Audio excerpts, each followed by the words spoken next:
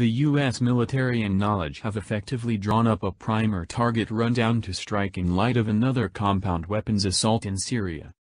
As indicated by CNN, who referred to U.S. organization authorities, the military are prepared to react rapidly at any minute on the off chance that U.S. President Donald Trump chooses to dispatch another strike against the Syrian government. They added that no choice to make a move has yet been made. Recently, the Russian Foreign Minister Sergei Lavrov said that there was presumably that the fear-based oppressors in the Syrian area of Idlib were planning for a false signal substance assault which they would then fault on the Syrian government. Lavrov alongside Syria's UN agent Bashar Jafari both say that proof has just been exhibited to the UN and the Organization for the Prohibition of Chemical Weapons, OPCW. Russia is said to have additionally as of now gave the information to the U.S. RT reports, however, the knowledge specialists as of now gathered focusing on information of what they portrayed as concoction weapons offices, the media outlet, CNN, revealed.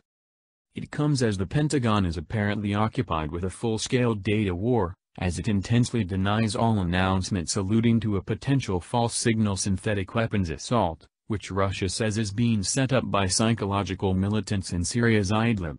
The U.S. military has blamed Moscow for spreading lies by uncovering this data and proposing that the assault could be utilized to legitimize another U.S. strike on Syria.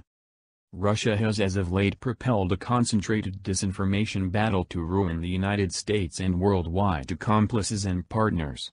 Specifically, Russia has recommended that is an appearance for United States strikes against the Assad administration, helpful associations in Syria were arranging a synthetic weapon assault. This is foolish, a Pentagon representative, Commander Sean Robertson said on Friday. On Tuesday, Russia's defense ministry said that the synthetic compounds to be utilized in the phony assault had been as of now conveyed to psychological oppressors in the territory with the help of the questionable White Helmets gathering, which Moscow has blamed for having joins with fearmongers.